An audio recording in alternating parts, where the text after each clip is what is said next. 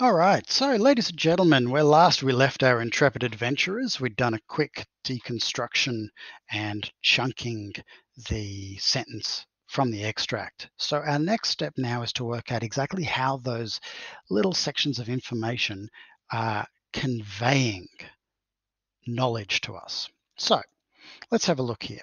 If you look in your uh, documents, you'll see that I've created a little template for you and I've taken what we worked on last video and transcribed it across here and color coded it so that I can just keep a track of each little section. Somewhere there on that desolate plain was lurking this fiendish man, hiding in a burrow like a wild beast, his heart full of malignancy against the whole race which had cast him out. Fantastic. All right, so what I'm going to do now is I transcribe that into this table. And what you will see is that I've got a row of what the author wrote. So this is what's from the original story. Okay, there it is there. And then underneath each of those, we're going to work out what is the language actually doing in that section. And once we've done all that, we're going to come back and we're going to write our own version mimicking Doyle's writing style. All right. So first of all, we've got somewhere there, and somewhere there is a bit of a vague direction in relation to the narrator. Okay, that's really important. And then on that desolate, it's sort of an adjective creating mood and spatial relationship to the narrator. Um, so that over there and desolate um, being a very mysterious kind of term. Over here, we've got the actual location itself. That's the plain. It's telling us where it is. All right, moving on to our next bit. Was lurking. Well, this is sort of an ominous behavior from the unnamed uh, individual. Whoops. We spell good.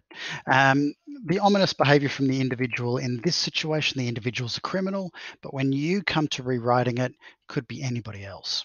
So this fiendish man, we're finally identifying who that individual is. So this is an adjective describing the individual. Hiding in a burrow is sort of the action being taken by the individual, um, but it's worth noting that the narrator is still thinking about what that person's doing. So it's the imagined action taken by the individual. And like a wild beast is the animal simile, linking the individual to the animal. Okay, we've got a comma there, so we need to make sure we remember that. And down here, we've got his heart, which is um, in this situation, it's an emotionally symbolic thing. It's an organ in the body that, generally speaking, when you refer to it, it refers to emotions such as love, hate, so on and so forth. So this um, thing is symbolic of an emotion. So full of malignancy is then describing that motion.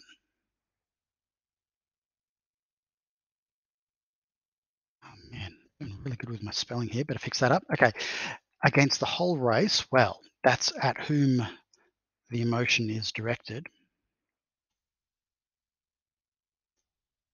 And which had cast him out. Well, this is what society or the group did to the individual.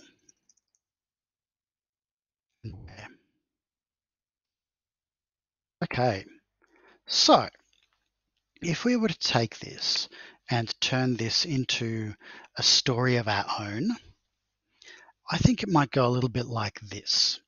So, a vague direction in relation to the narrator. Okay, so I'm going to say down there, comma. That's a vague direction in relation to me. On that desolate, how might I write that? Oh, okay, so this has got to be an adjective creating mood and a spatial relationship to me, the narrator. So I'm going to say inside this decrepit. Okay, so rather than on that, I've said inside this, and rather than desolate, I've written decrepit because I think that's a, a good mood kind of room. Sorry, word. Um, okay, so a location, I'm going to go with classroom. Aha. don't forget my comma because it's in the original, so I have to have a comma here. Okay, I'm coming along to the ominous behavior from the unnamed individual. So I'm going to say was patiently waiting. Okay, now I'm finally going to name the individual. So I need an adjective describing the individual. So I'm going to say the cunning teacher. Aha. All right, now the imagined action taken by the individual. Mm, you know what, I'm going to keep this one simple. I'm just going to say sitting. I mean, I could go on to say sitting in a chair um, or sitting on, you know what, let's, let's do that. Let's say perching on the edge of a table. Let's go with that. Perching on the edge of a table. Okay, now I need to turn this into an animal simile. Um, so I need to think of an animal that perches. Oh, I know. Like a vulture awaiting prey. There we go. I like that. Man, I'm good at this thing. I should be an English teacher or something. All right. Now, the next thing in the original sentence was his heart full of malignancy against the whole race which had cast him out.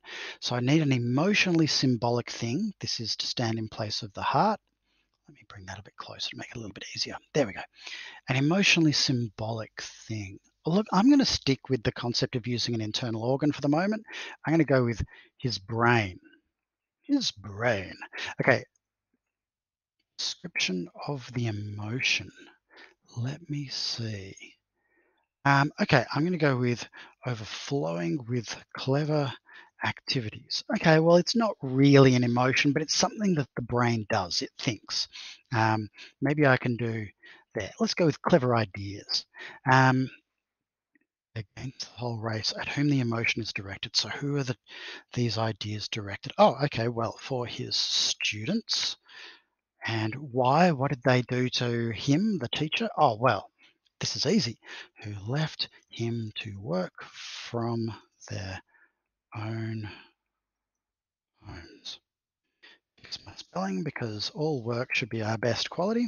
All right, so what I've actually got now is down there, inside this decrepit classroom, was patiently waiting the cunning teacher, perching on the edge of a table like a vulture awaiting prey, his brain overflowing with clever ideas for his students, who left him to work from their own homes. All right, obviously I'm working through a few things here. Bear with me. So your job now is to go through and write your own version. Where I've written the story, or sorry, the sentence about the, the teacher waiting, you're now going to go and do that. So please go through, fill in the boxes of what the language does using what I've just said, and then fill in your own written version of this story. All right, that's your next step. Thank you very much and wait for the next video for instructions.